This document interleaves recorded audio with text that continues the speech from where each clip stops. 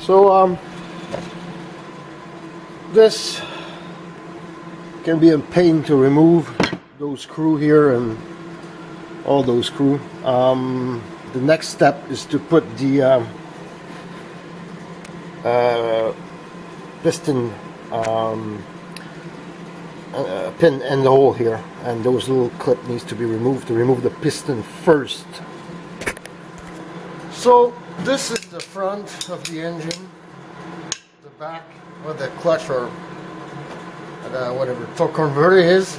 Uh, the, the thing is you need to remove those two to get the uh, let's say the front piston. Get the circlip out. And the easiest way is to go on the back here and push the pin out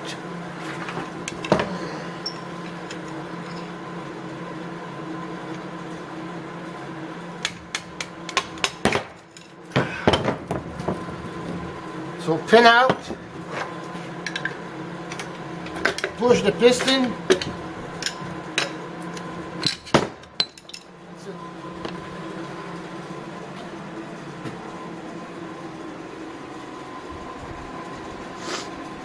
let me tell you what I why I'm doing that. This engine uh, had a slight rod knock.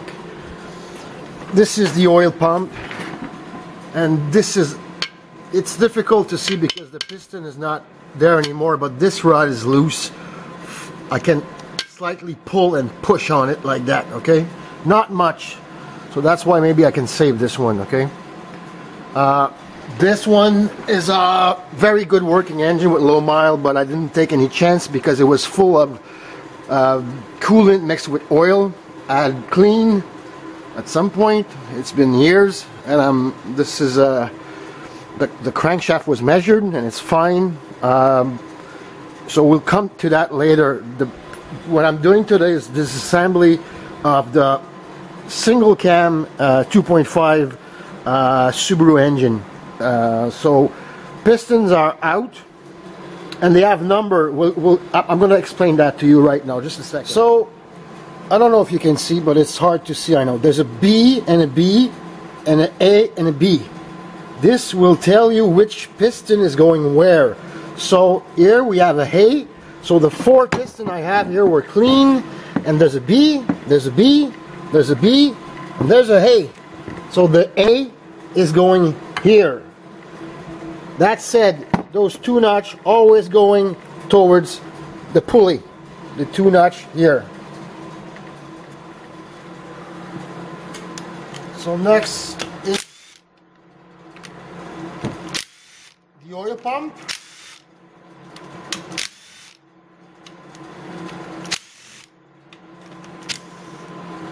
So this is the best pry point.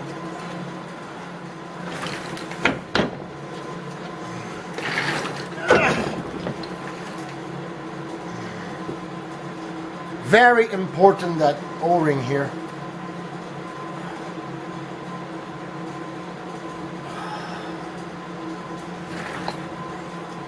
this is the high pressure line and this is the comeback.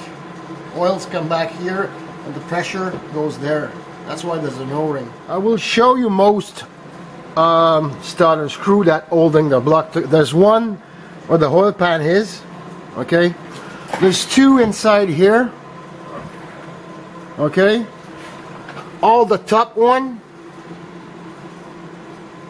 all those here there's one behind for now that's it. I'm gonna count them after. Um passenger side. So you got two here four inside here of those long one. That that's the main torque bolt okay? And you got two smaller one in the short from the driver's side. Those are driver's side, and the rest of the normal one around are driver's side.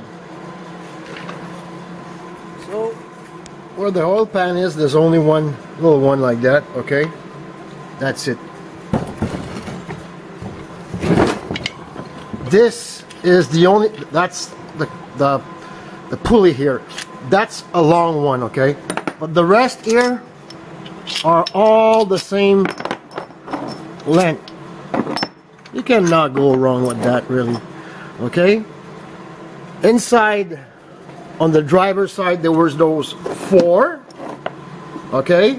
And on the, uh, on the uh, passenger side, there were those six. Okay? Basically, if I remember right, there's only one left, and it's in the back here. Let's go see. Or we're in the back where the clutch is, or the pressure plate, or whatever. And there's another long one, exactly like the other. So it's pretty easy to remember. Of what I know, they are all out. And you can see already, you cannot see it, but my case is splitting a bit here. So I will double check and make sure that they are all out. So what I did is just try to open it slowly to see if it will go and it's going. It's splitting all around. So it would not do that uh, if I had one screw left, okay? So I'll put the camera on the stand and open the case. So there's one dowel here on the bottom and one on the top. So this is where you should pry first. This one is easy.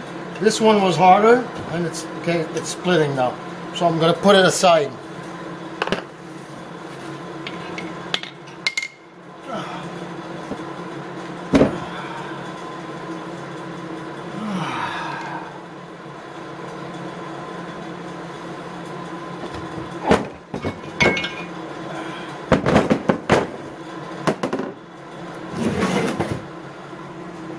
Let's count them. One, two, seven.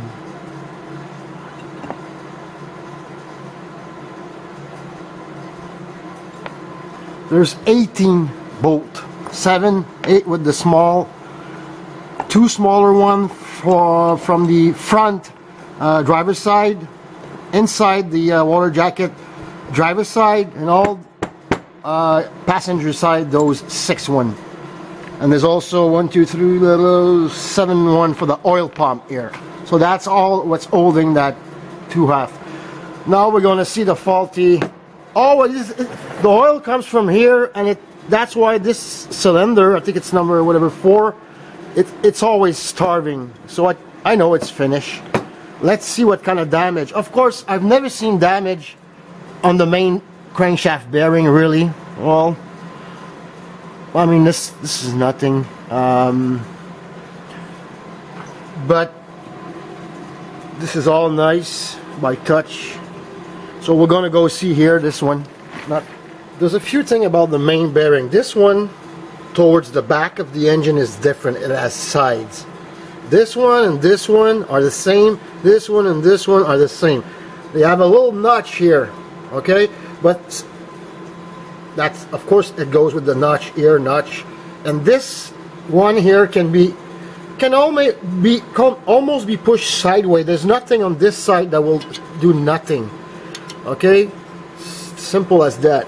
Um, so that's for the bearings. And very important those uh, oil pressure o-ring. And that, that, that that's a coolant one pretty sure. I have to check back in my book. Uh, rod rod have a bump here. They all have bump towards the pulley, okay? And they have a written part number, or no, probably just a, a size number here, and they're all different. So if you're not sure about that, you take a picture. And for now, I'm just, just going to remove the last one, the one that, that I think it's dead. And um, that's it. So number, number with number. There's no number on the other side. So number on number match match uh, uh, and bump bump towards the, the front the crank the crank pulley okay? So the rod are kind of a little hard to remove but not that much.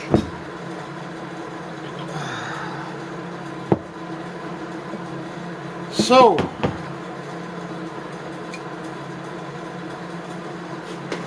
You see the discoloring here? This engine has not failed yet. It was, it was loose enough to make some kind of a noise. So it's not too late probably to save that thing. I'm surprised I would have thought that there would have been more damage. But I'm gonna, uh, you can feel you can feel it here but there's not much loose I hope the camera is good enough so you can this is a good rod. Barely there's no wear on this one you can see. Even the color of the rod is that that's not that important look at the discoloration here. And and strangely those two one in the center are the worst one. I didn't think so I've never seen that. So the, the starvation was pretty much everywhere. Even this one is not bad. I'm gonna put the camera down and look me at I'm gonna move that rod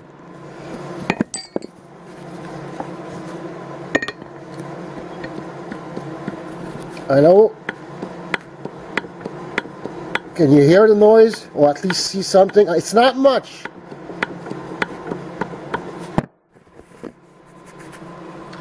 The first thing, this is the conclusion of what I'm thinking now and how much is worth to save a case or not. First of all, you need to check your line bore, eh, okay? You see that zero needle, you go all around and you have a measurement to take different places. I know you cannot see, but it's pretty, it's, all cylinder were checked and they're within uh, spec. So the case is not full of metal also. It will have to be steam clean. Um, okay. Where the crank shaft sits in the case, it's it's within spec still. Uh, but where the rod goes, it's it's it's really worn out a bit.